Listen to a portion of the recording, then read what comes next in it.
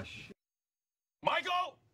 Michael! As punishment for my reckless evening, I plan on taking a quarantine style staycation. Ah. I don't understand what's happening.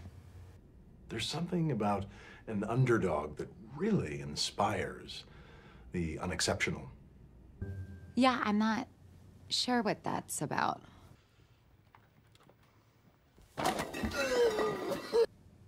It's probably just a case of the Mondays. Am I right? Who is this woman?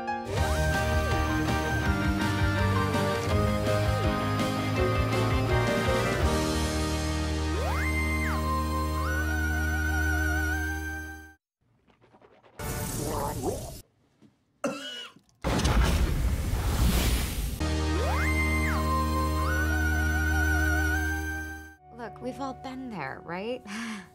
Letting our fear and anger get the best of us, intentionally expanding the borders of the false world we created. As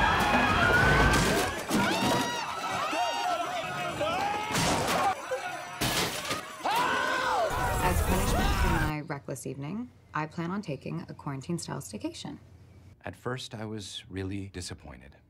But I've got a great daily routine going right now. I've upped my karate to eight times a week. I've added boxing, lunches, and on weekends. I do an hour of meditation every morning at sunrise and again at sunset.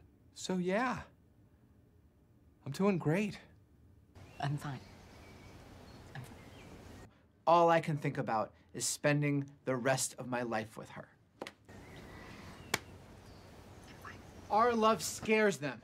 It screws up their cookie cutter world. I am Michael Scott, Regional Manager of Dunder Mifflin, and I'm going to come at you hard. What is going on?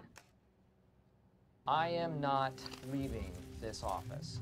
It will take a SWAT team. You could never withstand this. That's how devoted I am. And now we're wasting tape. I'm gonna have to cut this all out. Can you say cut? So I know where to. I can't fix it. I'm excited about the narrative facility, the documentary format. What? It's easier to tell a complex story when you could just cut to people explaining things to the camera. You're not supposed to talk. Okay, scene's over.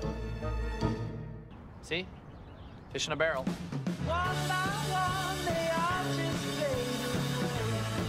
Michael! Michael, there's an emergency in our house. God, no, no, no, no, no. Who wants to be the first to tell me what the hell just happened? Who is it, Sam? Who's what? No!